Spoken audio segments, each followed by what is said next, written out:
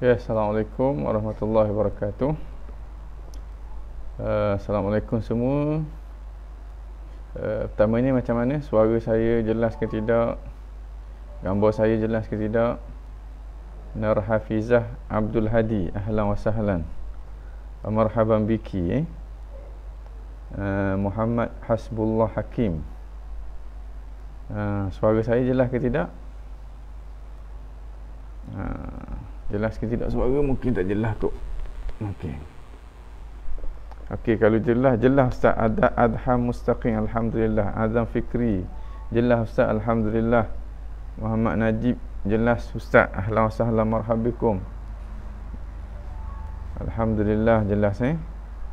Ha, jelas belaka dah Nur Hafizah Abdul Hadi jelas belaka dah Allah Ustaz Syed Hafiz ha, jelas juga Ustaz Syed Hafiz. Alhamdulillah ahlan wa sahlan marhabikum aman al-aidarus uh, ahlan bika ahlan bikum. Jelas ustaz alhamdulillah. Uh,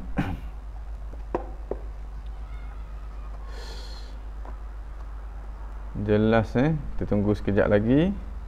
Okey mana-mana yang dah masuk tu uh, kalau boleh kita sharekan dulu. Share dulu ha, supaya ramai orang yang dapat manfaat daripada kuliah kita ni insya-Allah dan supaya kuliah kita ini ha, manfaat ini menjadi semakin luas insya-Allah. Ahmad Kamil Abdullah jelah molek ustaz alhamdulillah. Ahlan wa sahlan. Uh, Fazrul Hakim jelah juga ustaz alhamdulillah. Okey.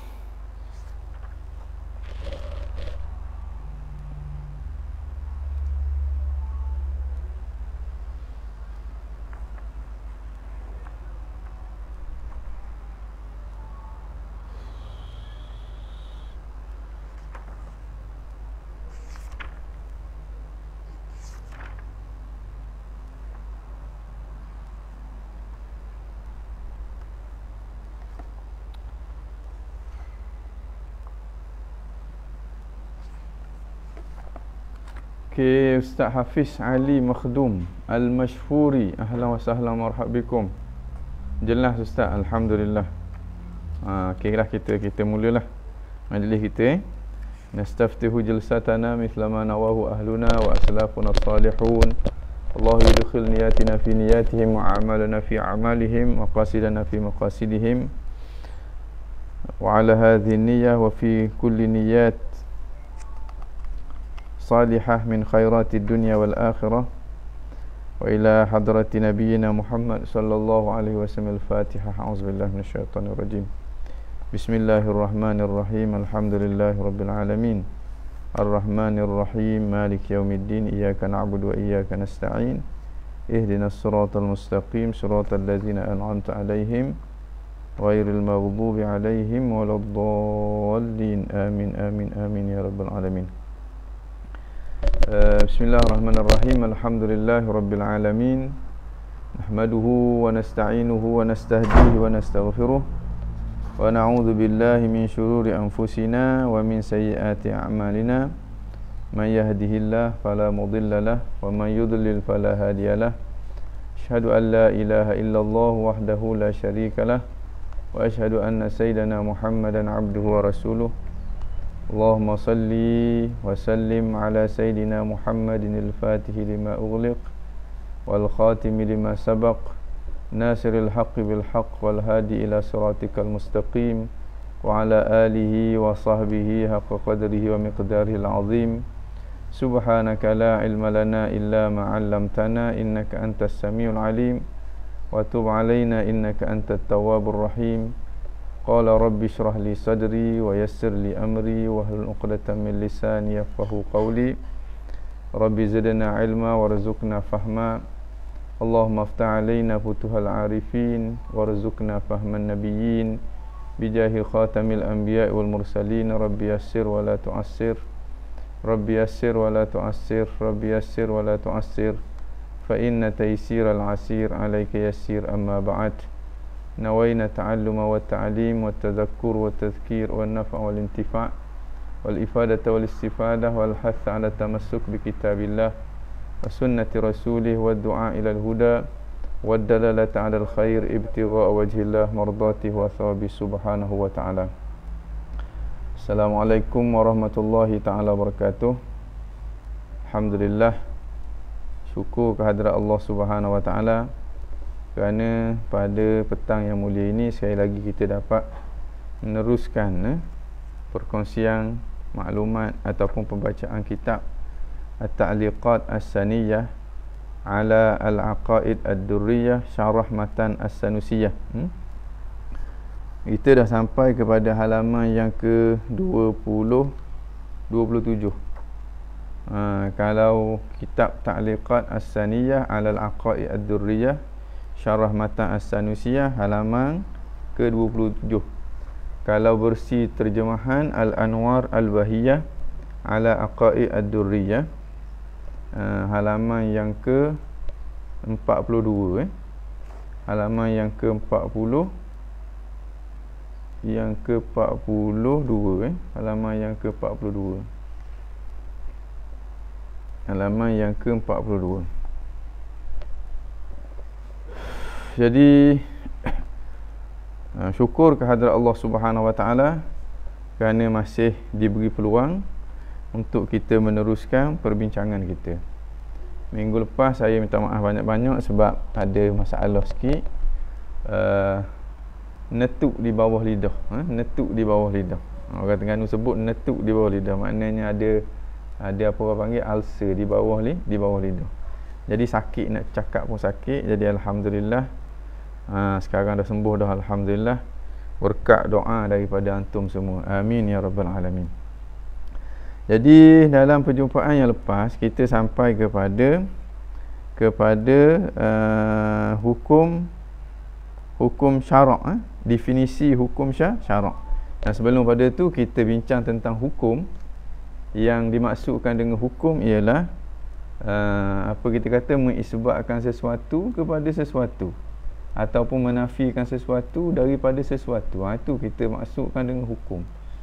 Ha, hukum mengisbatkan sesuatu bagi sesuatu ataupun menafikan sesuatu daripada sesuatu.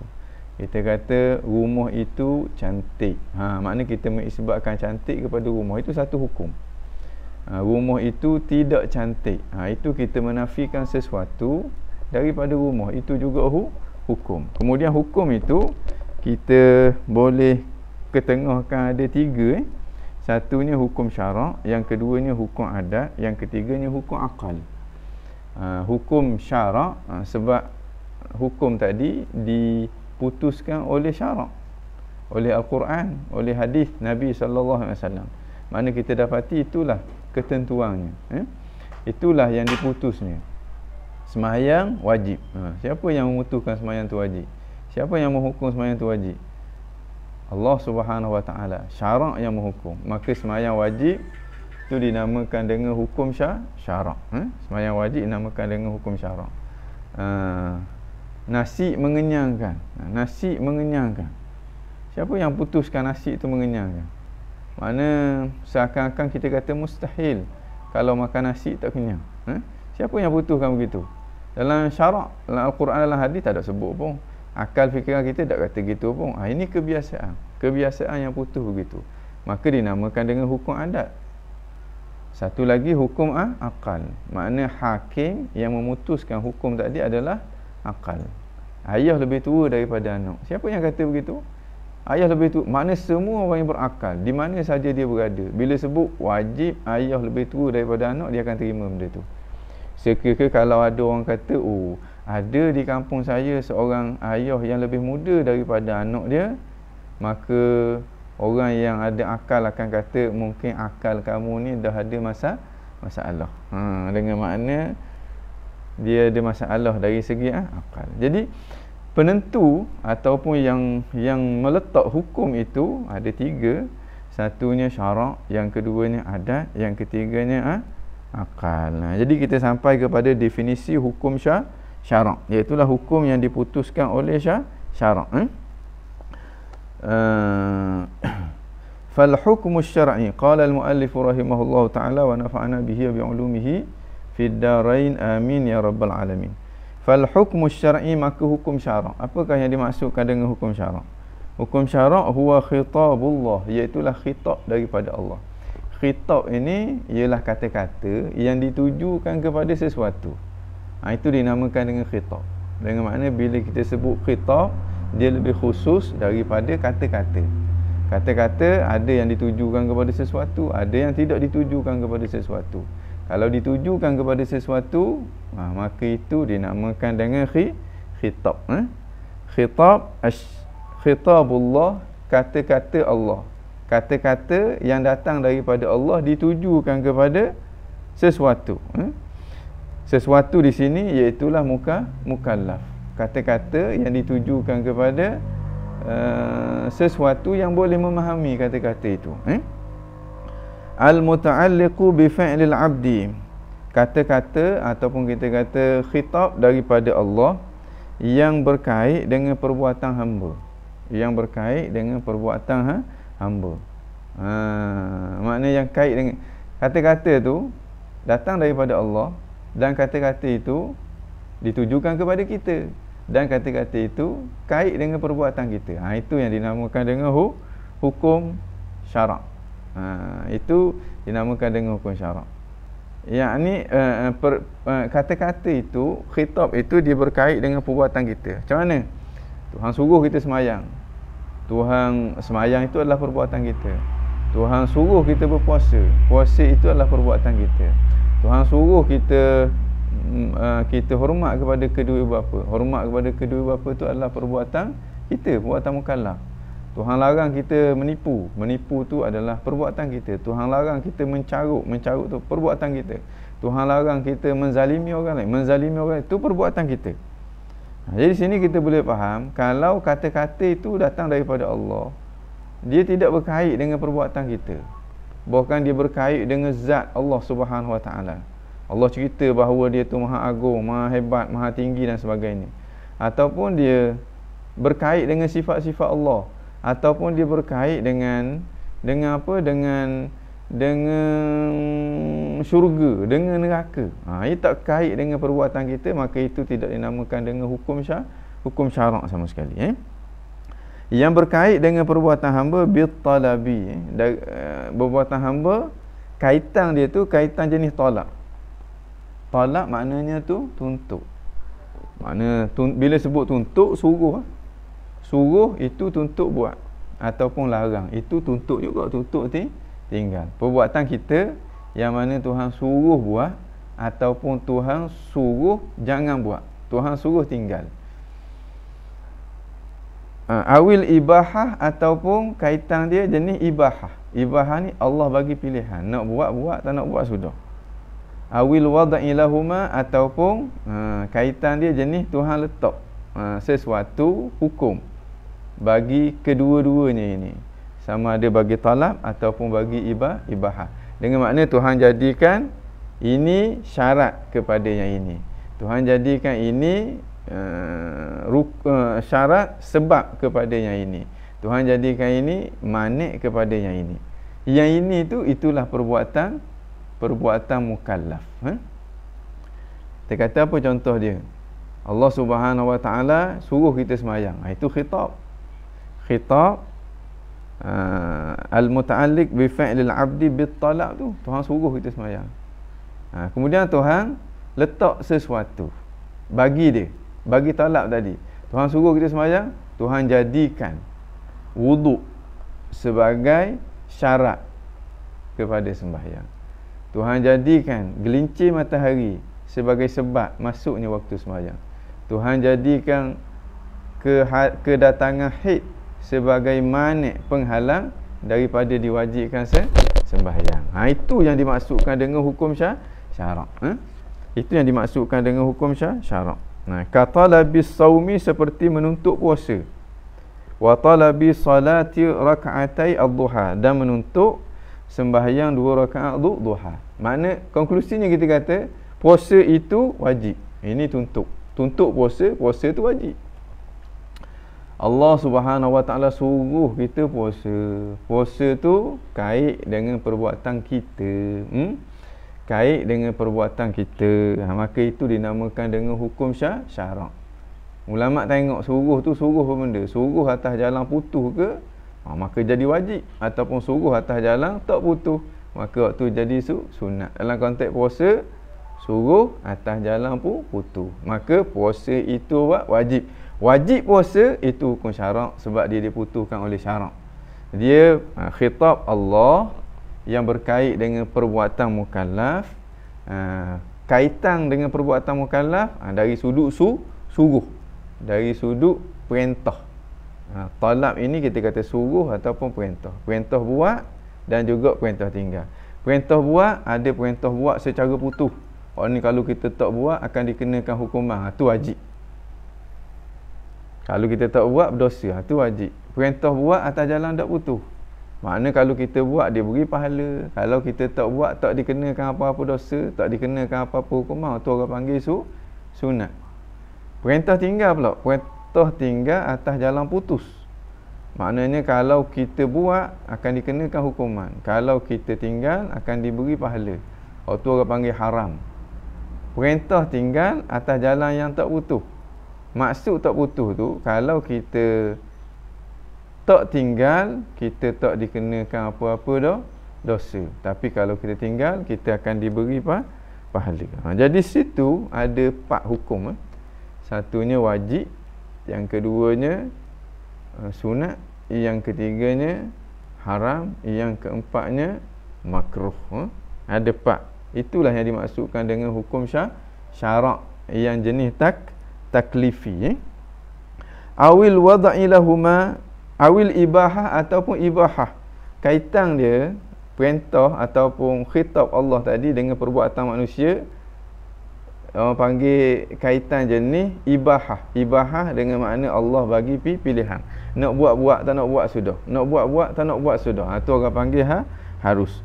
Awil wada'i lahuma ataupun wadak kepada ke keduanya. Wadak kepada ke keduanya. Wadak dengan makna Tuhan jadikan sesuatu uh, sebagai syarat ataupun sebagai sebab ataupun sebagai ma manik kepada sesuatu yang yang dia tuntut tadi ataupun sesuatu yang yang dia tuntut tadi ataupun sesuatu yang diberi pilihan tadi. Sembahyang sebagai contohnya. Sembahyang tu Tuhan tuntut kita buat. Sembahyang zuhur, fardu. Kemudian Allah jadikan hmm, gelincir matahari ataupun kita kata masuk waktu sebagai sebab ha, jadi wajibnya sembahyang itu dan Allah Subhanahu Wa Taala jadikan tutup aurat sebagai syarat sahnya sembahyang itu Allah Subhanahu Wa Taala jadikan haid ataupun nifas sebagai manik yang menghalang daripada wa, wajib menunaikan se, sembahyang okey Uh, katala bisawmi seperti menuntut puasa. Ha, itu atas jalan atas jalan fardu eh. Orang tutup buat secara pu putus. Wa talabi salati raka'atai ad-duha dan menuntut uh, sembahyang dua rakaat duha. Itu tuntut atas jalan tak putus. Sunat. Eh? Wa talabi tarki zina dan menuntut uh, meninggalkan zina. Tutup supaya ditinggalkan zina itu tuntut tinggal atas jalan putus. Haram. Wa talabi tarki qiraatil Qur'ani fi ruku' dan menuntut tinggal baca Al-Quran fi ruku' ketika rukuk ha, itu Tuhan larang kita baca Quran ketika rak rokok. Ha, itu tuntut yang tak putus yang namanya mak makruh. Jadi jangan buat pandai-pandai lah masa rokok pergi baca ayat Al-Quran. Atas alasan ha, baca Quran itu zikir yang paling af afdal jangan buat pandai-pandai dalam ha, agama. Sebab dia di, dilarang. Kalau Tuhan tak larang tak apa. Kalau Tuhan tak larang tak apa. Ini Tuhan lah Tuhan larang ha? Tuhan larang. Dan Nabi tak ajar kita buat apa? Begitu eh. Kita nak tahu Tuhan larang Tuhan tak larang ni macam mana? Dengan akal fikiran kita. Ha, kalau kita orang alim fabiha wa ni'mah. Tapi kalau kita orang biasa-biasa jangan duk reka-reka eh. Maka kita kena refer kepada pandangan uh, ulama. Kena refer kepada pandangan uh, ulama. Ha.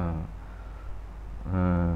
Makna hak yang Allah Subhanahu Wa Taala larang itulah yang kalau kita buat jadi bi bidah. Sama ada larang secara putus itu haram ataupun larang secara uh, tak putus itu makruh. kita buat benda tu nabi tak pernah buat benda tu ha, itu yang jadi bi bid'ah ha, jadi orang kata uh, uh, okey wa takhyir bainal bai' wa adamihi dan Allah bagi pilihan di antara bai' jual jual beli wa adamihi ataupun kita tak nak jual beli. Nak berjual beli ataupun tak nak berjual beli.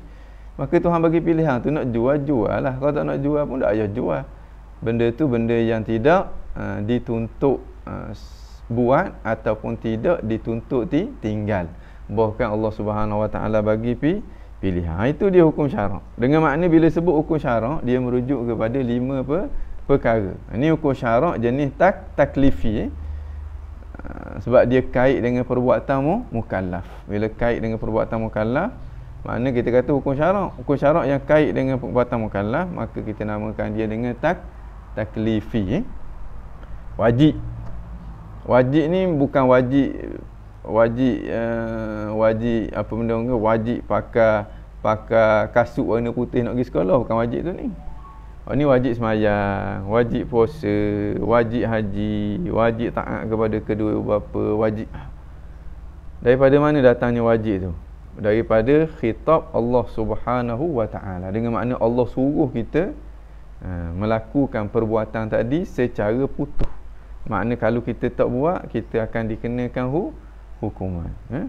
yang keduanya pula sunat semayang duha sunat orang kata uh, apa sunat apa bendanya sedekah sunat uh, berpuasa uh, hari Arafah dan sebagainya maka waktu Allah syarak tuntut. Tapi tuntut bukan atas jalan wa, wajib. Tuntut bukan atas jalan putus. Maka itu orang panggil su sunat eh? yang ketiganya Allah Subhanahu Wa Taala larang tuntut juga larang ni tuntut juga tuntut tinggal larang jangan berzina jangan minum arak jangan itu orang panggil ha, haram satu lagi tuntut atas jalan makruh tuntut yang tak putus Ha, jangan isap okok sebagai contohnya. Jangan makan bawang nak pergi ke masjid. Jangan itu, jangan ini. Makruh itu tuntutan yang tidak pu putus. Kemudian Allah bagi pilihan nak buat buat tak nak buat sudah. Allah tak suruh dan Allah Subhanahu Wa Taala tidaklah tidak larang. Maka itu namanya ha, harus. Itu yang dimaksudkan dengan hukum syarak taklifi. Al-ahkam asy-syar'iyyah at-taklifiyah. Ha, kalau kita nak nak detailkan lagi kita kata al-ahkam asy-syar'iyyah al-far'iyyah al-fiqhiyyah at-taklifiyah. Oh, panjang lagi. Taib. Ah, habis itu eh. Wal wad'u lahumā dan wad'. Wad' ni maknanya le, letak. Hmm. Tuhan letak. Tuhan letak dengan makna Tuhan jadikan. Hmm? Tuhan jadikan sesuatu bagi sesuatu. Tuhan jadikan hmm, gelincir matahari itu sebagai sebab masuknya waktu zuhur. Tuhan jadikan tenggelangnya matahari itu sebagai sebab masuknya waktu waktu garik. Ha, Tuhan jadikan keluarnya anak bulan tu sebagai sebab ha, wajibnya ber, berpuasa. Eh? Maka itu se, sebab Tuhan letak sesuatu kepada sesuatu ataupun Allah letak sesuatu kepada sesuatu Allah jadikan syarat Allah jadikan syarat itu syarat Allah jadikan wuduk itu syarat sahnya sembahyang Allah jadikan tutup aurat itu syarat sahnya se sembahyang. Ha, maka itu syarat tu siapa yang letak? Allah yang letak. Dia kait dengan perbuatan mukallaf. Iya dia kait dengan perbuatanmu mukallaf. Maka dia adalah hukum syar syarak at-taklifi taklifiyah eh? hukum syar'i at-taklifi. Baik.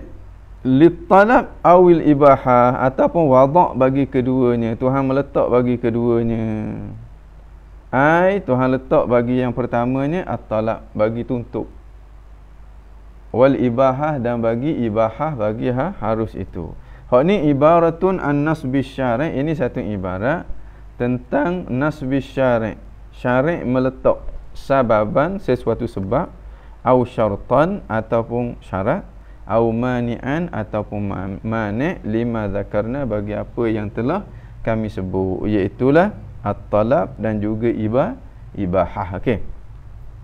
Itu hukum syar syarak. Jadi kalau sini kita nak detailkan hukum syarak ada berapa? Ada ada lapang lah. Ha, satunya wajib sunat harus makruh haram. Syarat sabab manik ha, syarat sabab dan juga ma manik ha. dan ada dua lagi yang disebut oleh para ulama iaitu sah dan juga ba batal. Sebab sah dan batal itu juga berkait dengan perbuatan mukallaf. Ha? sah dan batal itu juga berkait dengan perbuatan mukallaf. Okey. Wal hukmul adi habis hukum syarak eh? Hukum syarak. Sebab apa dinamakan dengan hukum syarak? Sebab hukum itu diputuskan oleh syarak sebab hukum itu diputuskan oleh syarak ha, ini yang yang diterjemahkan dalam apa anwarul bahiyah Hukum syarak bererti perintah Allah. Ha, perintah Allah tu makna khitabullah. Perintah Allah yang berkaitan dengan perbuatan seseorang hamba sama ada secara tuntutan ataupun secara keharusan. Tuntutan tu tolak, keharusan tu ibahah. Atau peletakan itu diterjemah daripada al-wada'u. Bagi kedua-duanya. Bagi tuntutan dan juga keharusan. Contohnya seperti tuntutan berpuasa. Tuntutan menunaikan solat duha. Berpuasa tu tuntut secara putus eh? Uh, tuntut buat secara putus. Solat solat duha tu tuntut buat secara tidak putus. Tuntut meninggalkan perbuatan zina tu tuntut tinggal secara putus. Tuntutan meninggalkan baca al-Quran ketika rakaat tu tuntut tinggal secara uh, tidak putus eh dan memberi pilihan sama ada berjual beli ataupun tidak. Okey. Perletakan bagi tuntutan dan keharusan diartikan dengan syarak meletakkan sesuatu itu sebagai sebab syarat ataupun penghalang bagi perkara tersebut. Okey. Masuk kepada wal hukmul adi hukum adat. Wajib mati itu hukum syarak juga ke? Ha. Wajib mati itu bukan hukum syarak eh? Ha, wajib mati itu hukum ah adat wajib mati itu hukum ah adat setiap manusia pasti akan akan mati. Tapi kerana adat itu diberitahu oleh syarak menunjukkan itulah yang akan di dibuat oleh Allah Subhanahu Wa Taala, itulah realiti yang akan berlaku, maka wajib kita kena i'tikad. Kalau kita dah i'tikad tu, ha, maka hak tu jadi boleh bawa kepada ku kufur dengan makna kita lawan kepada uh, keterangan syar syarak. Eh? Kita lawan kepada keterangan syar syarak. Okey.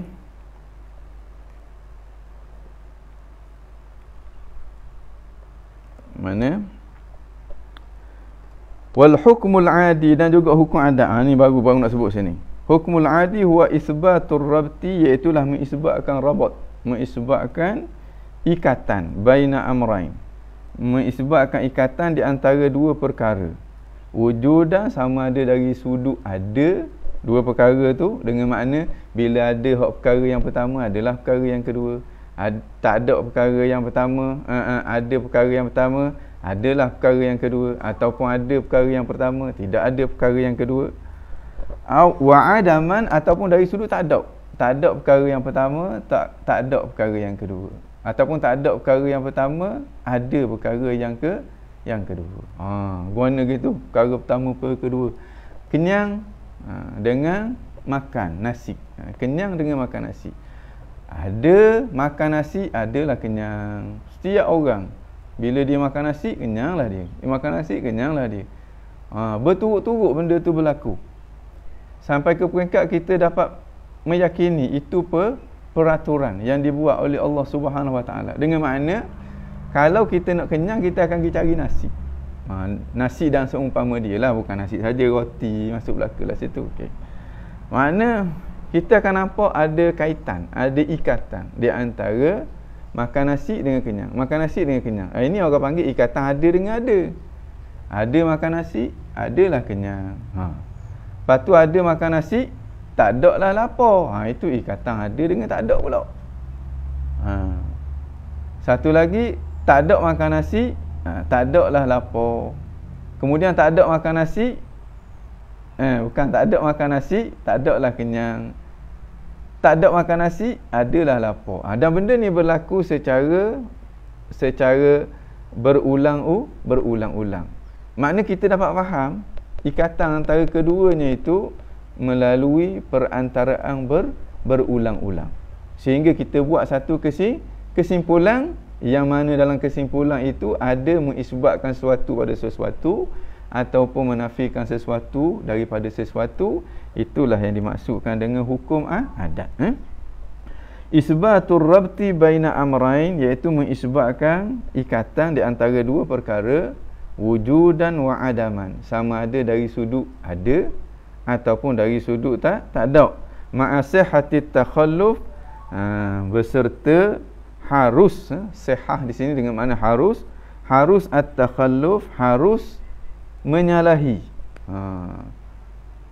harus makan hok biasanya makan kenyang makan kenyang makan kenyang.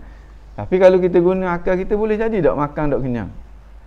Hok biasanya minum air hilang dahaga minum air hilang dahaga minum air hilang dahaga tapi kalau kita congok ikut akal kita boleh jadi tak minum air tapi tak hilang dahaga.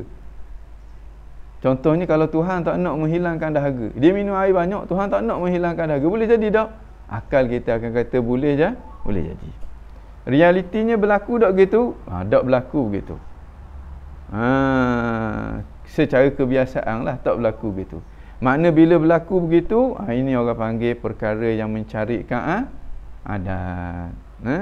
Tapi tak mustahil berlaku begitu. Kena api terbakar api membakar api membakar api membakar. Boleh jadi tak? Api sejuk tak membakar pun. Boleh jadi. Tapi tak berlaku gitu. Kalau berlaku ha, itu dinamakan dengan perkara yang mencarikan ha, adat. Bila berlaku perkara yang mencarikan adat nak menunjukkan apa? Nak menunjukkan kepada kekuasaan Allah Subhanahu Wa Taala bahawa Allah tak terikat dengan adat tu adat tu Allah jadikan peraturan untuk kita bukan untuk dia. Ha. tapi kalau berlaku seperti mana ada kena api terbakar minum air lah dahaga kena simbah air berjeruk basah. Ha, hak tu nak menunjukkan apa? Kalau kita boleh berfikir nak menunjukkan tentang kebijaksanaan Allah Subhanahu Taala. Dengan makna Allah buat sesuatu untuk kita ada peraturan ni. Bukan buat dalam keadaan cacamar marbah. Jadi ada dua keadaan tu perkara adat bila berlaku seperti mana adat kebiasaan nak menunjukkan apa nak menunjukkan kepada ha, kebijaksanaan Allah Subhanahu Wa Taala. Setiap kali kita makan nasi kita kenyang. Ha, kita kena nampaklah situ. Alangkah bijaksananya Allah Subhanahu Wa Taala. Kalulah dia dak buat peraturan ni letih kita. Buat ni. Ha. Hari ni nak kenyang lapar perut ni, nak kenyang kena pergi cari nasi. Esok nak kenyang pula lapar perut, makan nasi tak jadi benda. Kena pergi panjat pokok. Ha, panjat pokok barulah hilang lapar tu. Allah. Lusa pula, lapar perut pula. Nak kenyang, kena terjun dalam air panjat pokok lah. Jahanam habis kehidupan kita. Tak nak hidup kita. Ha. Jadi, kita akan nampak sesuatu ini ter, teratur, automatik kita akan nampak kebijaksanaan pengatur dia. Yang tak lain tak bukan ialah ha? Allah subhanahu wa ta'ala. Tapi ada waktunya berlaku perkara yang mencarikan adat. Sepatutnya minum air hilang dahaga tapi tak hilang dahaga orang yang nak mati tu kalau kita cuah dalam mulut dia sebanyak air laut atas dunia pun dia tidak akan menghilangkan dahaga dia Nabi Ibrahim AS jatuh dalam api tak terbakar pun sampai ke peringkat setengah ulama tafsir kata seandainya kalau Tuhan tak perintah kepada ha, tak perintah kepada api supaya selamatkan Ibrahim Makna kalau Tuhan hanya perintah ya nar kuni bardan berhenti situ. Wahai api jadilah kamu sejuk. Pasti Nabi Ibrahim mati kerana sejuk, bukan mati kerana apa? panas. Ha. Ini nak menunjukkan apa? Nak menunjukkan betapa kuasanya Allah Subhanahu Wa Taala, betapa Allah Maha Mutlak. Allah Subhanahu Wa Taala tidak pernah terikat dengan apa-apa peraturan yang dia buat. Dia buat peraturan itu untuk kita, bukan untuk dia dia boleh langgar peraturan dia tu bila masa yang dia nak idza arada syai'an ay yaqula lahu kun fayakun bila Tuhan nak sesuatu dia kata kun jadi maka jadilah se sesuatu itu. Jadi dua benda kita kena sedar. Sedar-sedarkan hati kita. Bila berlaku perkara yang mencarikan adat, kita kena nampak kekuasaan Allah. Bila berlaku sesuatu yang selari dengan adat, kita kena nampak kebijaksanaan Allah. Ha. Jangan jadi setengah pihak bila orang cerita tentang perkara yang mencarikan adat, ha, dia kata ni puak-puak kaya ni, puak-puak yang tak logik ni, puak-puak yang banyak tidur. Ha, ini masalah. Ha, sebab dia tak faham bahawa Allah Subhanahu Wa Taala itu maha ber, berkuasa atas benda yang dia lakukan dan Allah buat peraturan itu Allah tak terikat dengan peraturan ter, tersebut. Kita ahli sunnah bila kita dengar karamah para awliya kita akan nampak kebesaran Allah. Lagi banyak cerita tentang karamah, lagi kita akan nampak tentang keagungan Allah kekuasaan Allah Subhanahu Wa Taala dan kemuliaan yang Allah beri kepada orang yang benar-benar taat kepada Allah sehingga hati kita terdorong untuk nak jadi seumpama mereka. Itu bila kita membicarakan tentang kara karamah. Tapi setengah pihak bila didengar tentang karamah terus dia bang selalu dah. Fikir kau dengan otak, logik ke, ni bawa umat Islam kepada benda yang karuk maruk, benda yang khurafat menyebabkan umat Islam ni duk mimpi di siang hari astaghfirullahalazim. Astaghfirullahalazim kita kata dia astaghfirullahalazim. Imam al-laqani sebut wa asbitan lil awliya karamah faman naba faman nafaha fam kalamah. Hendaklah kamu isbatkan karamah kepada para awliya itu. Siapa yang mengingkarinya buang kata-kata dia tu sebab otak dia tu telah terpengaruh dengan pemikiran sesat mak Mu'tazilah. Yang mana dia tengok dari sudut yang salah. Kalau dia tengok dari sudut yang betul Lagi banyak Orang panggil cerita tentang keramat Lagi kuat iman dia kepada ah, Allah subhanahu wa ta'ala Lagi tinggi sanjungan dia kepada Orang-orang yang dikasihi oleh ah, Allah subhanahu wa ta'ala. Lagi kuat dia untuk mentaati ah, Allah subhanahu wa ta'ala. Okay. Ha, ni dia kata ka isbati ma'asihati takhalluf makna boleh jadi ha, menyalahi eh? ka isbati rabti baina syabai wal akli seperti ikatan mengisbatkan ikatan di antara kenyang dengan makan. Makan kenyang, makan kenyang, makan kenyang. Ini kebiasaan. Boleh jadi tak makan tak kenyang? Boleh jadi. Tetapi benda tu tak berlaku. Melainkan kalau dia berlaku, ha, berlaku pada tangan para nabi itu namanya mukjizat. Berlaku pada tangan para wali itu namanya karamah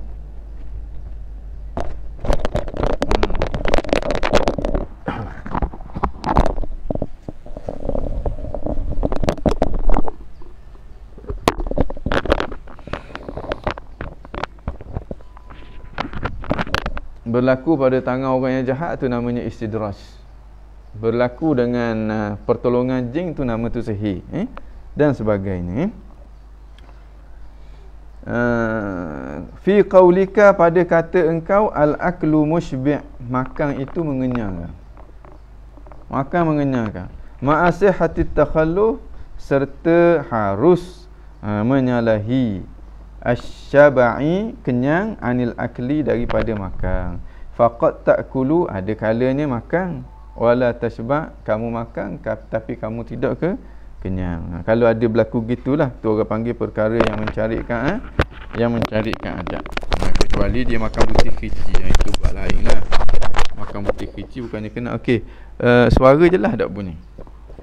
Jelas jelas tak bunyi suara. Cabut. Sekejap deh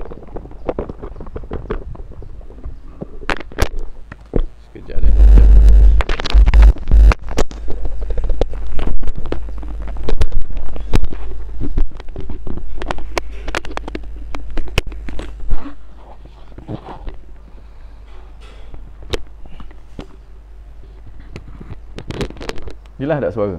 Jelas eh? Okey, alhamdulillah. Okey, yang itu orang panggil hukum ah, adat. Ini kena beza ni antara hukum adat dengan hukum ah, akal. Ha, supaya kayak gini kita nak isbatkan wajib Allah Subhanahu Wa Taala ada. Wajib situ wajib hukum akal, bukan hukum adat.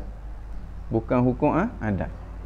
Ha, supaya kita nampak oh orang yang kata Tuhan tak ada tu oh, memang orang ni tak ada berakal. Memang dia mengiyakan sesuatu yang mustahil macam orang kata uh, turun ke ke atas. Ha, turun ke atas. Ni orang kata pening ni pening. Memang set-set pening ni. Eh? Ha. Macam orang kata ha, kampung saya ada seorang ayah yang lebih muda daripada anak dia. Ha, dia dua tahun lebih muda daripada anak dia. Kita akan nampak dulu. Ni kaca ni. Ha, ni otak dia ada masa ada masalah. Begitulah dengan orang kata Allah Subhanahu Wa Taala itu tidak ada. Ha, biar kita nampak gitu. Allah Subhanahu Wa Taala itu tidak sedia biar kita nampak bahawa wajib eh, wajib Allah Subhanahu Wa Taala itu sedia dan juga akidah-akidah ketuhanan yang akan kita bincangkan satu per persatu bila tiba waktu dia eh Taib, yang berikutnya wal hukmul akli dan hukum akal. Hukum akal apa dia? Huwa isbatu amrin li amrin au nafyuhu anhu, iaitu mengisbatkan sesuatu bagi sesuatu atau menafikan sesuatu anhu daripada sesuatu min ghairi tawaqqufin ala takrar yang tidak terhenti pada berulang-ulang. Kalau ada tadi kita tengok ada berlaku pengulangan, barulah kita letak hukum. Dan hukum itu kita letak berdasarkan kepada pengu pengulangan. Benda yang sama ber berlaku. Makan kenyang, makan kenyang, kena api terbakar, kena api terbakar, kena air basah, kena air basah. Jatuh daripada pokok patah kaki, jatuh daripada pokok patah kaki. Mana bila berlaku dua kali pengulangan maka kita buat kesimpulan. Kesimpulan itu kita ambil daripada adat. Maka hukum itu adalah hukum adat. Hak ni dia tidak terhenti kepada takrar iaitu pengulangan. Wala wad'i wa'i dan wad'i dan tidak terhenti pada peletakan kepada yang meletak. Dalam konteks tadi apa yang diletak oleh syarak. Oh ni wajib, oh ni haram, oh ni sunat. Nah, dia bukan jenis gitu dia macam ke hukum akal tetapi ha, dia diputuskan eh, dia macam hukum adat tetapi dia diputuskan oleh akal bukan diputuskan oleh ha, adat. Wad'u wadi' ni hukum syarak. Wad'u wadi' wad'u maknanya letak. Wadi' oleh yang meletak. Yang meletak itu ialah syarak dengan makna hukum yang diletak oleh syarak. Ha, itu dinamakan dengan hukum syarak. Hukum akal bukan hukum yang diletak oleh syarak Maknanya kalau syarak tak letak pun kita dapat tak tahu. Ayah lebih tua daripada anak. Kalau tak ada sebut dalam Al-Quran, dah memang tak ada sebut dalam Al-Quran pun. Ada seorang pun yang mengingkari. Ha, maknanya kalau orang tanya, mana dalil? Mana dalil? Ayah lebih tua daripada anak. Ha, kita kata dalil dia, ha, awak tu kena makan obat. Ha, sebab awak tak makan ubat tu, akal awak dah ada masa masalah. Ha, mana dalil seorang suami mesti ada isteri? Mana dalil dia? Ha, saya tak nak percaya. Tak nak percaya sudahlah. Mana benda tu tak disebut dalam Al-Quran, tak dosa. Ha, tapi ke orang panggil awak orang bodoh lah. Bukan macam ni orang orang cerdik. Ha? ha? Abang lebih tua daripada adik. Wajib abang lebih tua daripada adik. Ha, dia kata, pandai-pandai kata, abang lebih tua daripada adik. Itu pemikiran bid'ah. Sebab tidak ada dah dalil. Astagfirullahaladzim. Ha, ni pening, eh? ni buah-buah pening. Makna ketentuan itu, hukum itu tak perlu kepada wadah wadah. Semua orang yang berakal Tuhan letak belaka dah. Selama mana orang tu orang yang berakal Tuhan letak makna itu. Tuhan letak hukum itu. Semua orang yang berakal akan sepakat pada perkara tersebut. Dua lebih mesti, dua mesti lebih banyak daripada satu. Satu lebih sedikit daripada dua. Ha, kemudian satu itu, satu, dua, tiga itu adalah jenis bilangan. Ha. Ini sesuatu yang orang panggil uh, keputusan yang diputuskan oleh akal semua orang yang berakal. Tak kira lah dia bangsa benda, tak kira lah dia bahasa apa. Tapi dia boleh faham. faham eh? Taib. Wahada huwaladhi hasarahu al-musannifu fil wujud wal istihalati wal jawad. Dan inilah. Ini hukum akal lah. Yang dibataskan oleh musannif. Pada tiga bahagian. Satunya pada wajib. Pada mustahil. Dan harus. Mana hukum akal ni ada ti? Ada tiga. Satu wajib. Yang keduanya mustahil. Yang ketiganya ha, Harus. Mana wajib pada akal. Sesuatu yang akal kita tak boleh nak terima. Dia tu tak begitu sesuatu yang mustahil pada akal akal kita tak boleh terima dia begitu ha, sesuatu yang harus pada akal akal kita akal kita boleh terima dia gitu ataupun se, sebaliknya eh? Bimakna dengan makna annahu la yakhruj anha. Dengan makna hukum akal itu tidak keluar daripadanya daripada tiga kata kategori ini sahaja.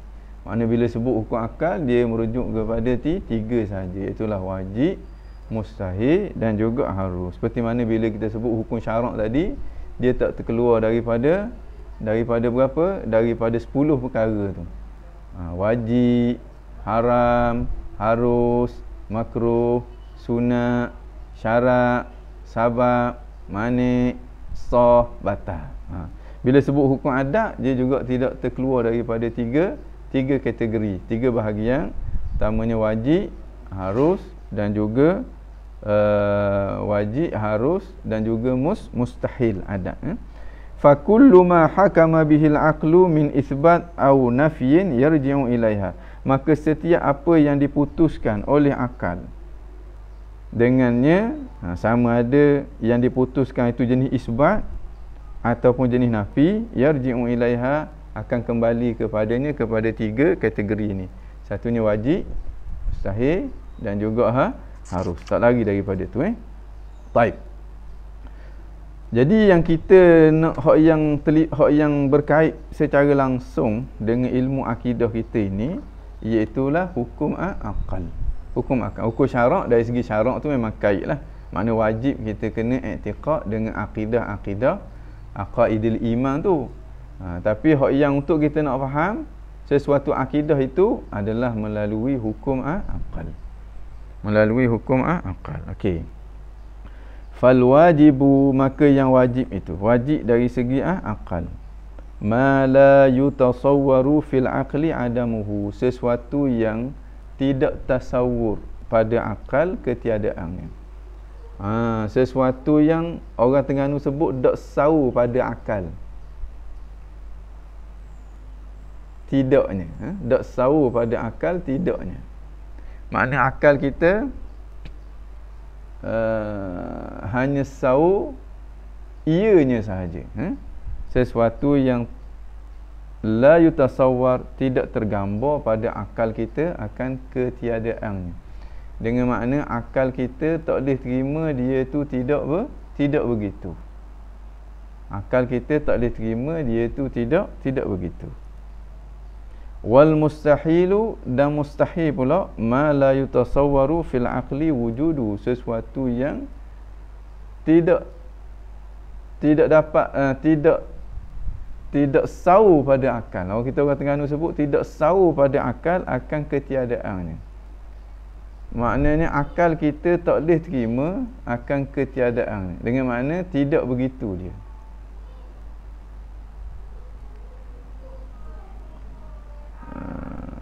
Wal jaizu dan harus pula ma yasihu fil aqli sesuatu yang harus pada akal wujuduhu ada dia wa adamuhu dan ketiadaan dia. Okey, sekali lagi dah. Dia sebenarnya dari sudut istilah je ni. Istilah je. Hmm? Fal wajibu maka yang wajib. Ha, sesuatu yang wajib itu. Wajib ha, pada ha, pada apa? Pada kesimpulan akal lah.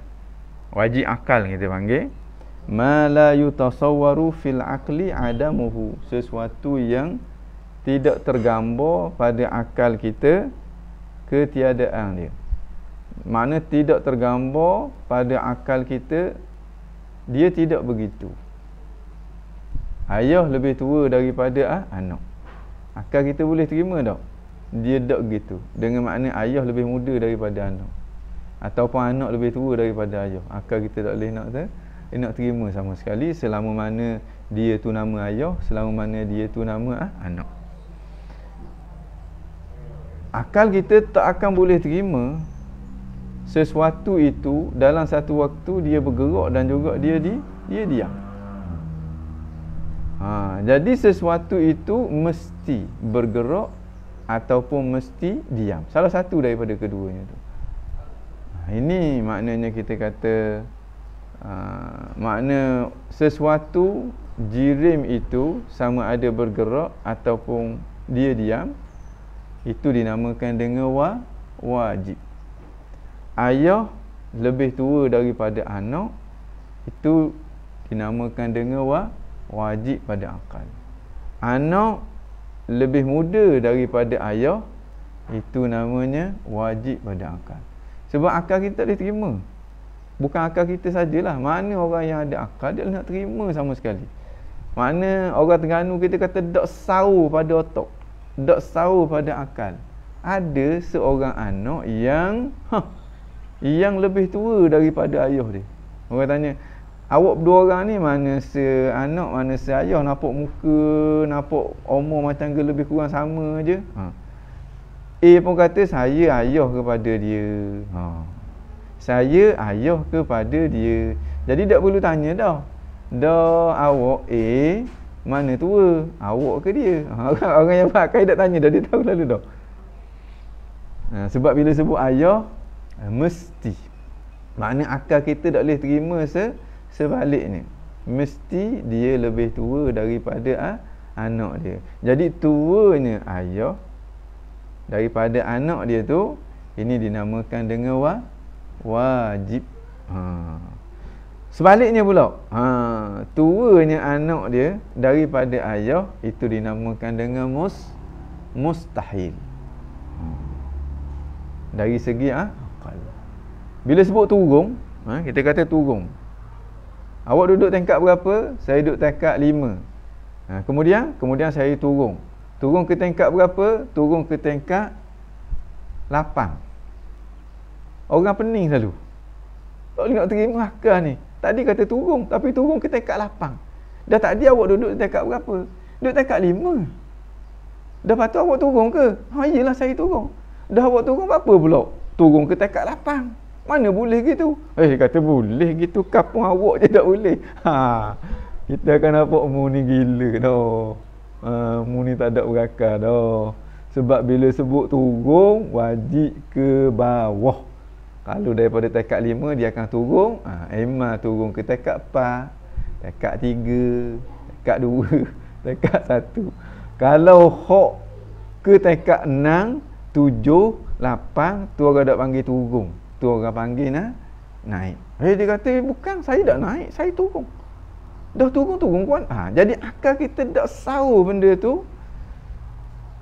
Orang kata subut.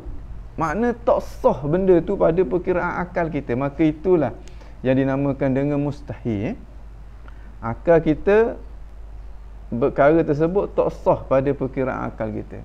Maknanya bila akal kita tak boleh nak terima melainkan ada dia maka itu yang dimasukkan dengan wa, wajib. Hmm? Dimasukkan dengan wajib. Okey. Wal mustahilu dan mustahil pula ma la yatasawwaru fil aqli wujuduhu sesuatu yang tidak tasawur pada akal akan ada dia. Akal kita tak boleh terima dia begitu. Tak sawur pada akal kita dia begitu. Hak tadi tak sawu pada akal kita dia tidak begitu. Hak ni tak sawu pada akal kita dia begitu. Contoh dia, anak lebih tua daripada ayah. Akal kita tak diterima. Semua orang yang berakal akan reject benda tu. Benda yang tidak boleh diterima itulah yang dimaksudkan dengan mustahil dari sudut ha? akal. Gini kita nak nampak bila kita kata mustahil Allah Subhanahu Wa Taala itu uh, tidak sedia. Mustahil Allah Subhanahu Wa Taala itu sama dengan makhluk biar kita nampak kalau orang mengisbatkan perkara tadi kita nampak ni orang yang tidak ber, berakal dah sebab perkara tersebut adalah perkara yang mustahil dari sudut ha? akal. Taib wal jaizu dan yang harus pula. Ma yasihu fil aqli sesuatu yang sah. Dengan makna sesuatu yang yajus yang harus. Fil aqli pada akal wujuduhu ada dia wa adamuhu dan tidak ada dia. Sesuatu yang harus pada akal dia begitu ataupun dia tidak begitu. Eh? Ha, kalau wajib tadi sesuatu yang tidak harus pada akal dia tidak begitu. Mustahil pula sesuatu yang tidak harus pada akal dia begitu. Yang jais yang harus pula sesuatu yang harus pada akal dia begitu ataupun tidak begitu. Guna ha, isteri lebih muda daripada suami. Akal kita kata okey je. Cuma sebaik-baiknya cari yang suami lebih tua daripada isteri lah ha, tapi dah orang kata kita ada masalah apa pun.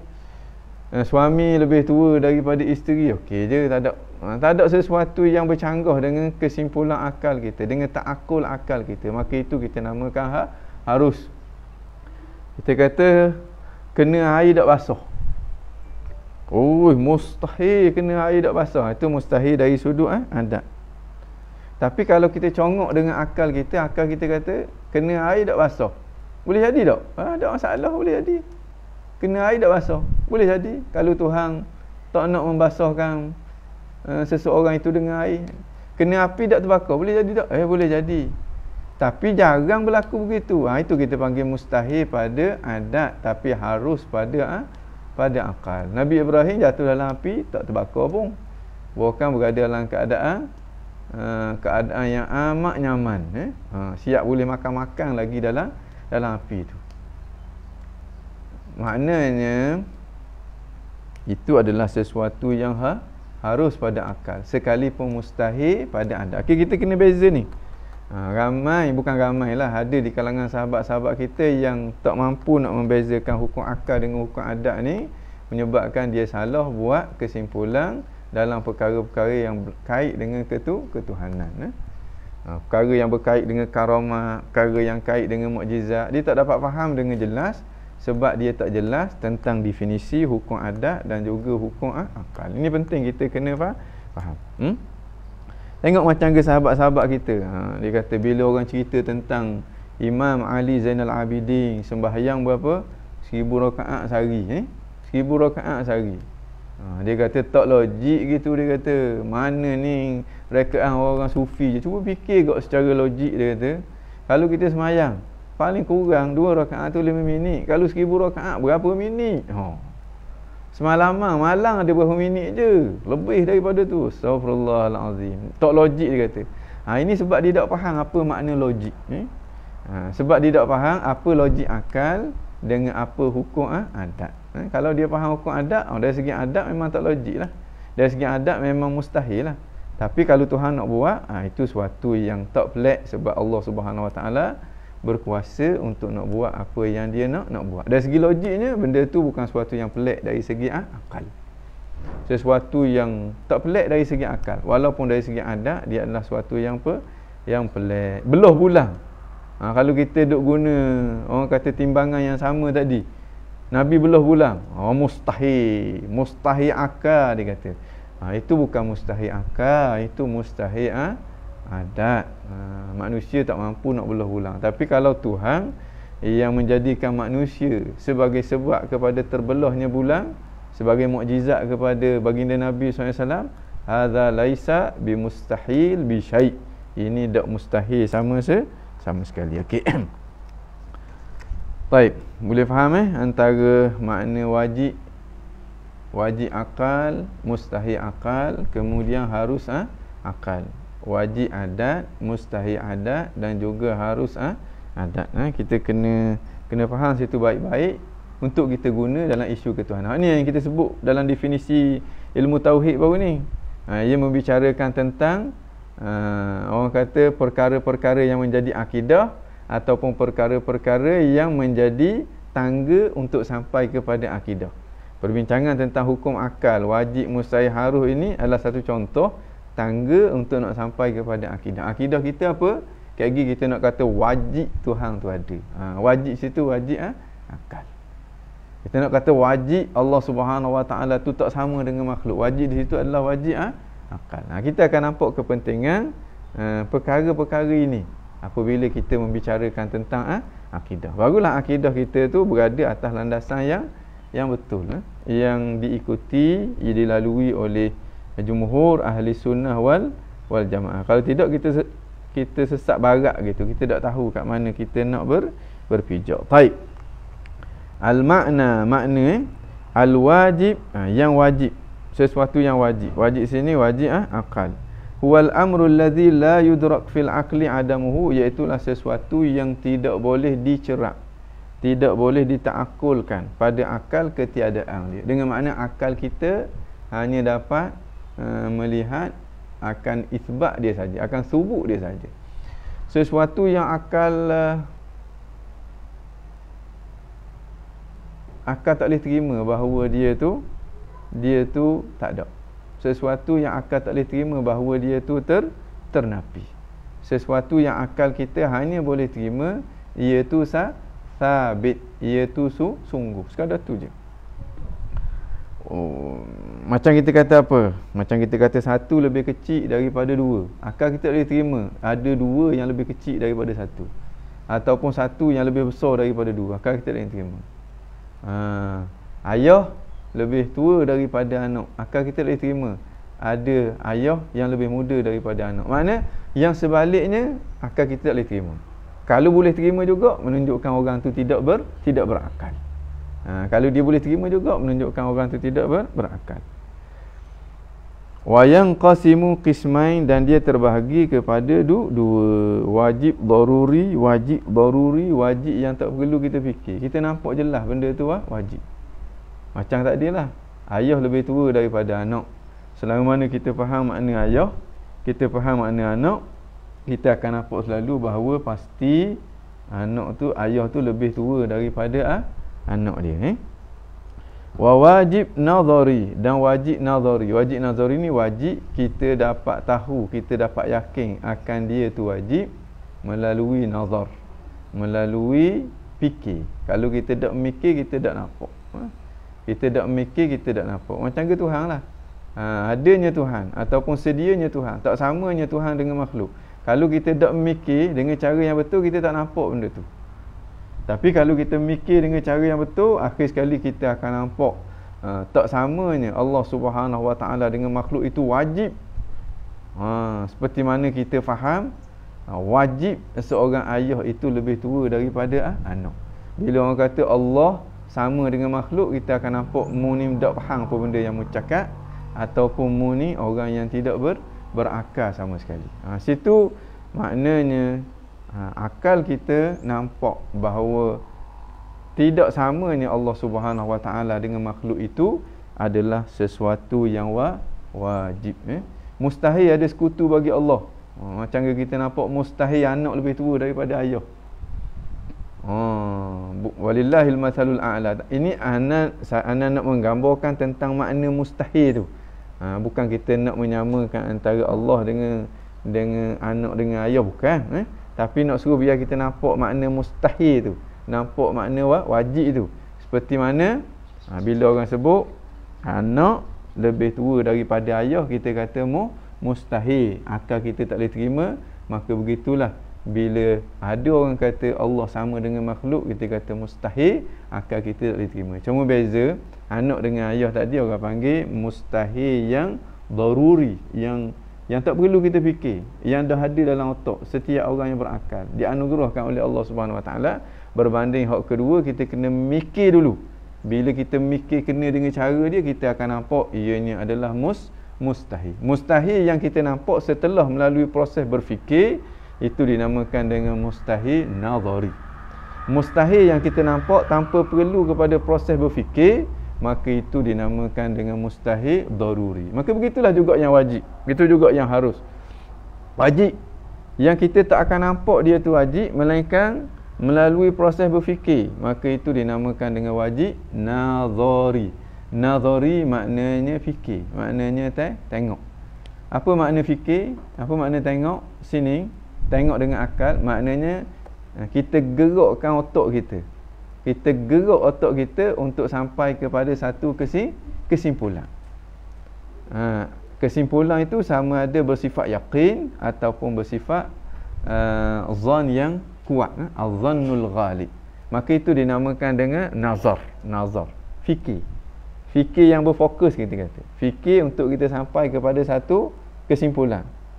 Ha, bila kita sampai kepada kesimpulan, kesimpulan itu bersifat yakin ataupun kesimpulan tu bersifat zon yang kuat maka pergerakan akal kita itu dinamakan dengan fi fikir. Ha, fikir ni dia beza dengan khayal kalau khayal ni kita tak ada matlamat kita lepas je otak kita dia pun khayal khayal masuklah syurga makan buah-buah syurga mandi pula dalam air minum pula air sedap akhir dia kaya gitu je waktu dinamakan dengan khayal otak kita gerak yang tidak berfokus tu namanya khayal Ini gerak untuk sampai kepada satu kesimpulan. Ha, itu dinamakan dengan fikir, itu dinamakan dengan nazar.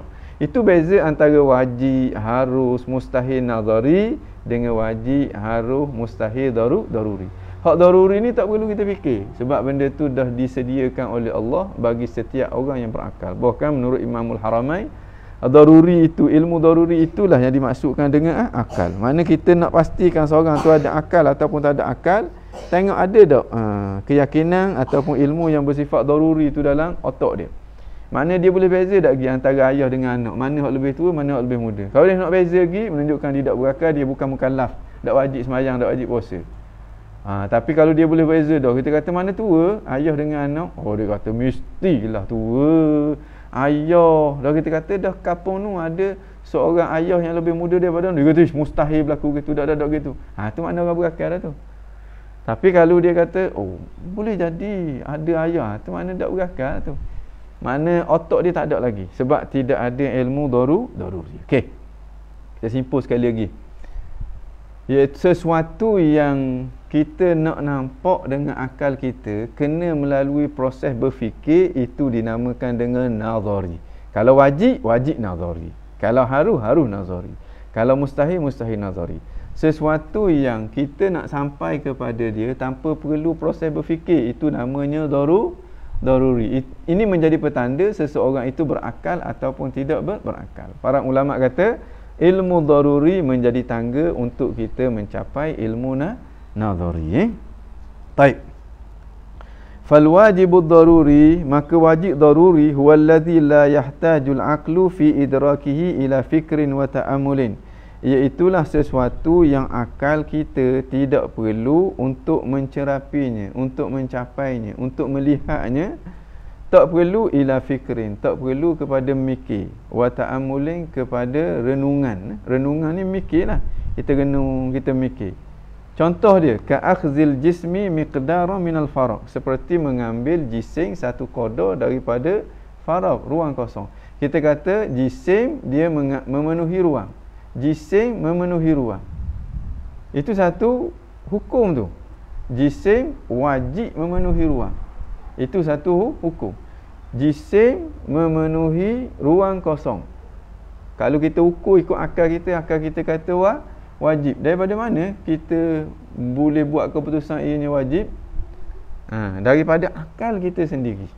Tanpa perlu kita berfikir. Selama mana kita faham makna jisim apa, Iaitulah sesuatu yang terbina daripada beberapa juzu Sesuatu yang mengambil ruang Kemudian kita faham makna ruang tu apa Iaitulah ruang kosong Dan kita faham makna mengambil ruang tu apa Automatik kita akan nampak bahawa jising itu mesti mengambil ruang Sebab kalau tak mengambil ruang Orang tak panggil dia jising Nampak ni? Ha. Tak panggil dia jising kalau tak mengambil ruang, maka tak panggil dia tu jising. Bila sebut jising, mesti dia mengambil ruang. Seperti mana bila kita nampak faham makna turun. Ha? Bila kita faham makna turun, kita faham makna bawah, kita akan nampak lalu. Bila sebut turun, mesti ke bawah. Ha, tanpa perlu kita berfikir. Tak perlu fikir nanti dulu. Saya nak fikir dulu, turun ni eh, ke atas ke ke bawah? Tak perlu dah. Mana kalau nak fikir gitu juga, menunjukkan ada masalah dari segi ah, akal eh? ada masalah dari segi ah, akal okey itu dinamakan dengan daruri yang tidak perlu kepada uh, fikrin wa ta'amulin. Ka akhzil jismi miqdara min al farq. Yang keduanya wal wajibun nazari wajib yang jenis nazari. Nazari ni kalau kita ukur dengan akal kita sepintas lalu begitu kita tak nampak lagi. Kecuali kita kena mikir step demi step demi step akhir sekali kita akan sampai kepada nanti natijah. Natijah itu bersifat yakin. Kalau mukaddimah kita juga bersifat ya yakin. Eh huwallazi yahtajul aqlu iaitu sesuatu yang akal berhajat fi idrakihi untuk mencapainya untuk melihatnya ha, untuk sampai kepadanya berhajat ila fikrin berhajat kepada fikir wa ta'amulin dan ta'amul. Kasubutil qudratillah seperti sabitnya kudrat bagi Allah Subhanahu wa taala. Kalau kita kata Allah Subhanahu wa taala maha berkuasa dan apa lagi kita melainkan setelah kita tahu bahawa Allah Subhanahu wa taala itu Tuhan bahawa kita tahu bahawa segala yang ada ini adalah ciptaan dia. Ha, barulah kita nampak bahawa dia itu ber, berkuasa. Wajib dia tu berkuasa. Kalau dia tidak berkuasa, tak mungkin dia boleh mengadakan alam se, semesta ini. Ha, tu wajib jenis nazari. Sebab kalau uh, dia semata-mata kita tak nampak. Kecuali kita kena guna akal kita, guna akal pula dengan cara yang betul, barulah kita akan nampak dan di situ akan timbulnya ya yakin ataupun dinamakan dengan ilmu maka itu dinamakan dengan wajib yang nadhari makna untuk kita nampak ianya adalah wajib kita perlu melalui proses ber, berfikir. Ha.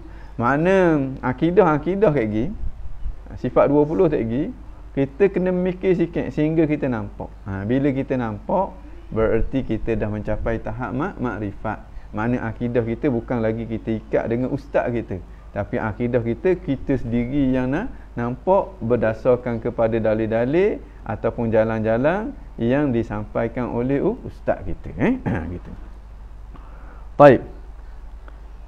Seperti dia kata uh, kasubuti al-qudrah lillahi ta'ala. Seperti sabitnya sifat kudrat bagi Allah Subhanahu wa taala wa hukmuhu dan hukumnya adamu turuwil adami alaihi aslan. Tidak didatangi oleh tak ada ke atasnya sama sekali. Itu benda wajib. Benda wajib tak mungkin ternafi sama sekali. Sama ada dahulu ataupun kemu kemudian. Itu benda wa, wajib dari segi ah, akal. Wajib dari segi ah, akal. Tak mungkin berlaku sebaliknya. Tak mungkin didatangi oleh adam oleh ti tiada eh? Okey uh, bih wal mustahilu dan mustahil pula. Eh? wal mustahilu dan mustahil pula. Wal amru alladhi la yudrak fil aqli wujudu. Mustahil akal sesuatu yang tidak dicapai ataupun sesuatu yang tidak mampu dicerak. Sesuatu yang tidak sah pada akal kita wujuduhu adanya ataupun sabitnya. Makna sesuatu yang akal kita tak boleh terima ha, dia ber, begitu. Sesuatu yang akal kita tak boleh terima dia begitu. Yang akal kita boleh terima hanyalah dia tidak begitu. Anak lebih tua daripada ayah akal kita boleh terima? Hak akal kita boleh terima anak lebih muda daripada ayah Hak boleh terima turun ke atas. Akal atas kita boleh terima.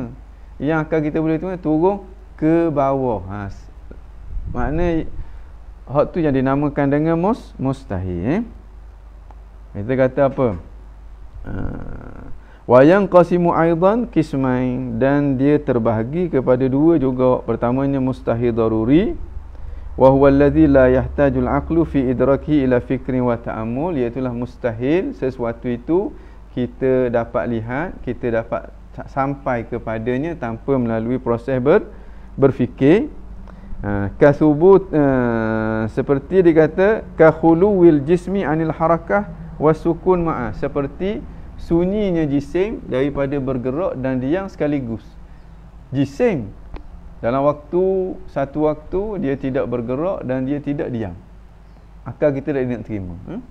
Selama mana sesuatu itu jisim mesti imma dia bergerak imma dia di diam makna jisim yang tidak bergerak dan tidak diam. Akal kita tak boleh terima sama se sama sekali. Ha. Kan itu kita tak kata Allah Subhanahu Wa Taala ijma' seluruh para ulama Allah Subhanahu Wa Taala tidak bergerak dan Allah Subhanahu Wa Taala tidak diam. Sebab apa? Sebab Allah Subhanahu Wa Taala bukan jisim Ha. Benda yang sama kita kena faham. Allah Subhanahu Wa Taala tidak berada di pihak atas. Allah Subhanahu Wa Taala tidak ada di pihak bawah. Sebab apa? Sebab Allah bukan jisim. Mustahil Allah berada di pihak atas. Mustahil Allah berada di pihak bawah. Sebab apa? Sebab Allah bukan jisim. Seperti mana mustahil Allah tu bergerak, mustahil Allah tu diam. Sebab apa? Sebab Allah tu bukan jisim. Hmm? Tapi kalau sebut jisim, ha, mustahil dia tidak bergerak dan tidak diam pada satu waktu bila sebut jisim mustahil dia tidak berada di pihak atas tidak berada di pihak bawah dalam satu waktu. Itu mustahil. Mustahil sebab apa? Sebab dia jisim. Bukan sebab dia ah, ada. Ha, ini benda-benda yang kita perlu nak nampak. Nanti bila sampai tempat dia kayak kita akan cuba perhalusi sikit supaya kita nampak ah perbincangan-perbincangan ini dengan je jelas. Barulah kita akan nampak Allah.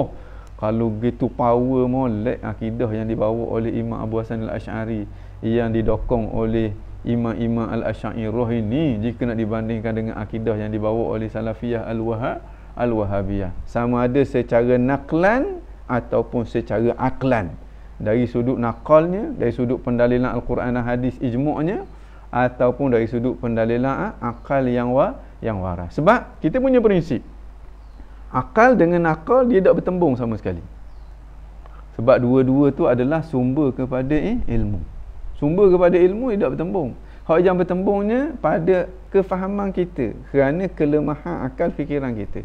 Jadi, jadi bagaimana untuk kita selaraskan supaya kita tak nampak pertembungan antara akal dengan nakal? Ha, bila tiba waktu dia gini kita akan bagi sedikit ha, penjelasan supaya kita nampak. Itulah dia ha, cara berfikirnya ha, tokoh-tokoh ulama ahli sunnah wal wal jamaah. Ha? dia tidak pernah meminggirkan akal dia. Dalam waktu yang sama dia tidak pernah orang kata meminggirkan na, nakal. Akal dengan akal ha.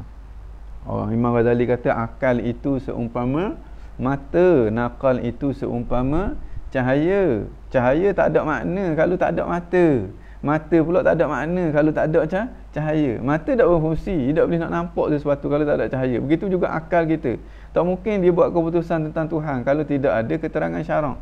Keterangan syarak pula, hmm, kalau tidak berakal, tak ada mana juga. Siapa nak faham? Bahkan Allah Subhanahu Wa Taala jadikan kita sebagai makhluk yang ditaklifkan kepada kita hukum syarak sebab apa? Sebab kita ada ha? akal. Jadi antara akal dengan akal itu bukan suatu yang ber, bertembung sama se, sama sekali, eh? Kerana itu dalam Al-Quran Allah puji orang yang ikut akal. Allah puji orang yang ikut akal. Orang yang meminggirkan akal Allah hina dia.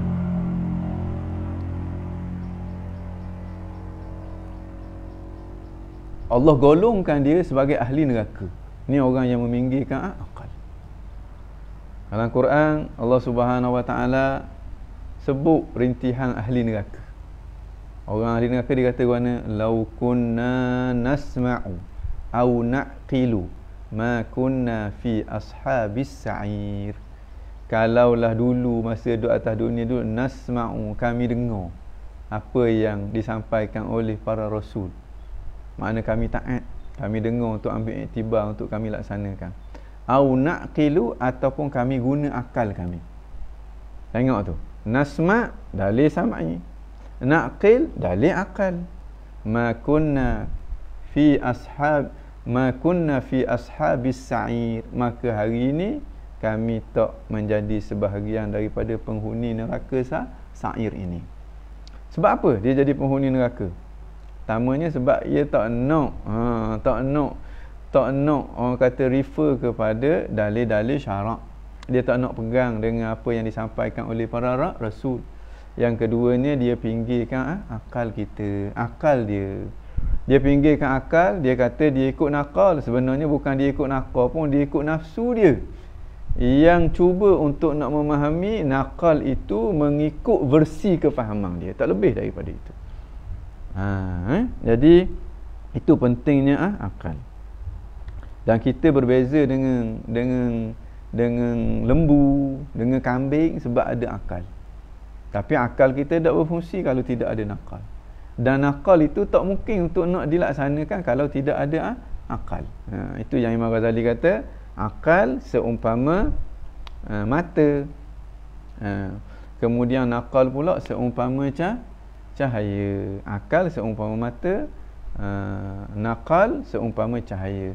Makna akal kita tak berfungsi tanpa ada cahaya dan cahaya itu tidak memberi apa-apa makna kalau tidak ada ah, akal eh? dua-dua tu dipuji oleh ah, Allah Subhanahu wa taala jadi dua-dua tu akan bawa kita kepada kebe kebenaran kalau kita uh, kena betul cara kita ber, berinteraksi dengan dia betul cara kita berinteraksi dengan nakal Al-Quran dan hadis kita akan sampai kepada kebenaran.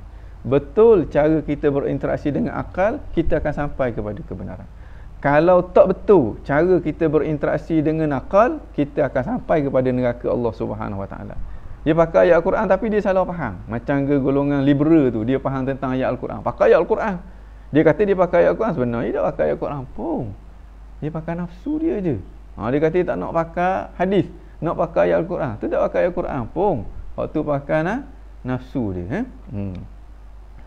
Wa qalu law kunna nasma'u aw naqilu ma kunna fi ashabis sa'ir. Ha, Ustaz Mahdi kita uh, apa uh, apa apa bendanya uh, sebut ayat Al-Quran tadi eh. Qalu law kunna nasma'u aw naqilu ma kunna fi ashabis sa'ir. Mereka itu berkata, mereka itu siapa?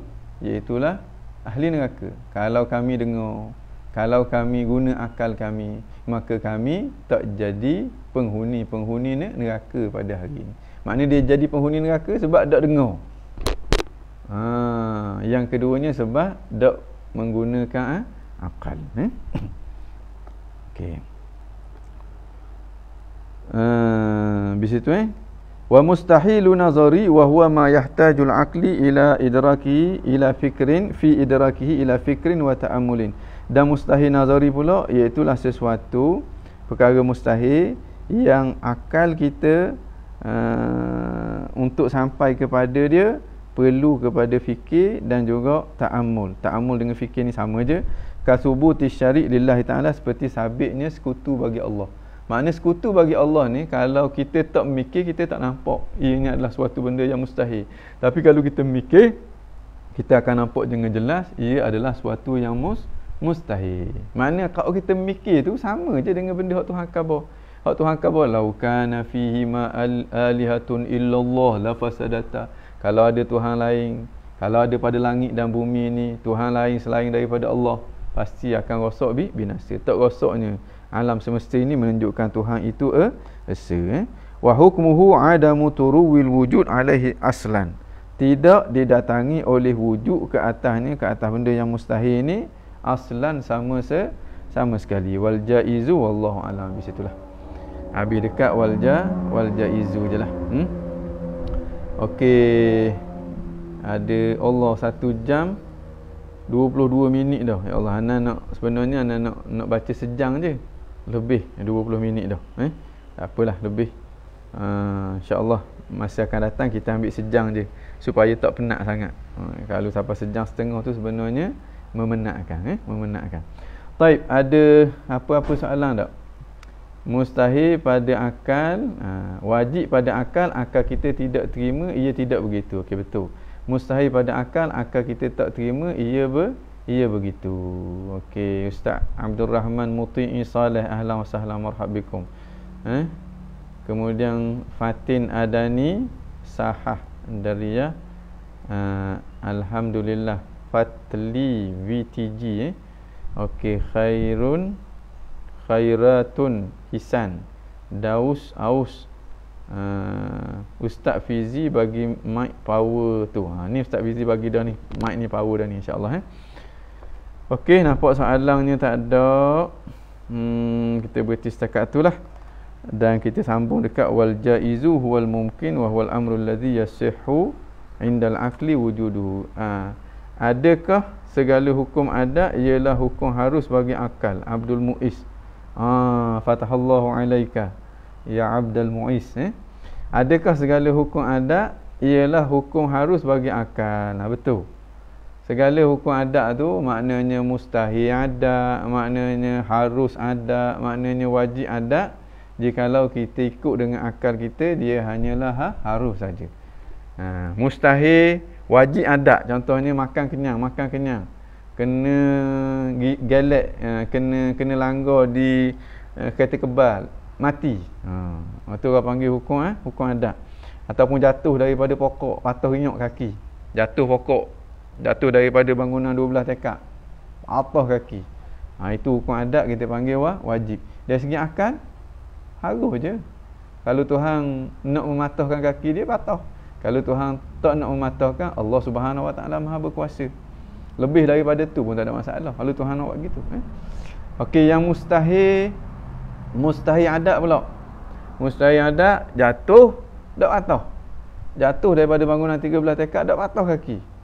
Ha, mustahil dari segi adat. Orang kata, oh, mustahil berlaku gitu. Ha, mustahil berlaku gitu dari segi adat. Dari segi akal boleh ke tak? Boleh, tak ada masalah apa. Semuanya merujuk kepada kekuasaan ha, Allah Subhanahu Wa Taala. Harus pula. Harus pada adat isteri lebih tua daripada suami, suami lebih tua daripada isteri. Harus je pada adat.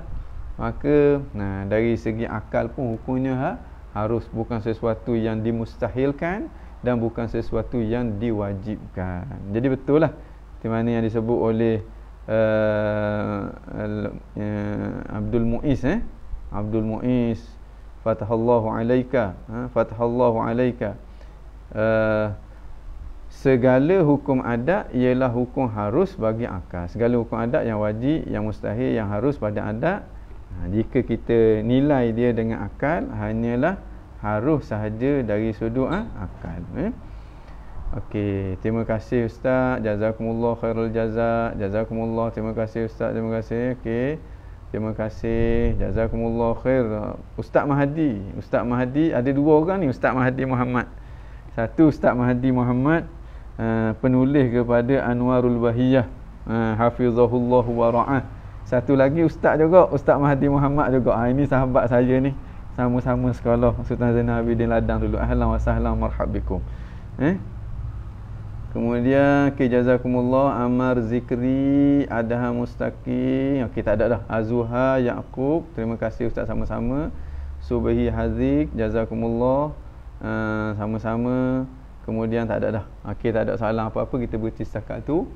Kita selawat tiga kali. Inna Allah wa malaikatahu yusalluna ala nabi يا أيها الذين آمنوا صلوا عليه وسلموا تسليما. اللهم صل على سيدنا محمد النبي الأمي وعلى آله وصحبه وسلم. اللهم صل على سيدنا محمد النبي الأمي وعلى آله وصحبه وسلم. اللهم صل على سيدنا محمد النبي الأمي وعلى آله وصحبه وسلم. ربنا انفعنا بما علمتنا.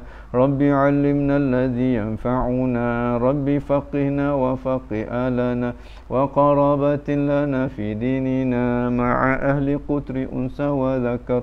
رب وفقنا ووفقهم لما ترتضي قولا وفعلا كرما.